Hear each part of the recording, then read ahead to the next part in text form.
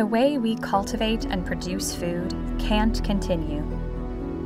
Our natural world is struggling to cope with the food demands of a growing population.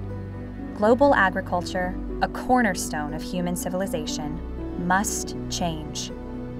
We have identified five key challenges to overcome if we are to continue producing food within the limits of our planet and in the shadow of climate change.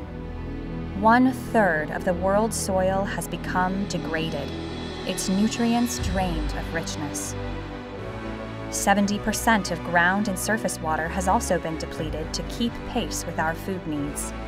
Farming has diminished biodiversity across the globe and is a prime producer of greenhouse gases.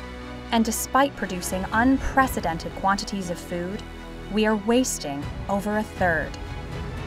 Tackling these challenges will allow humanity to create food in harmony with the planet for a sustaining and secure future.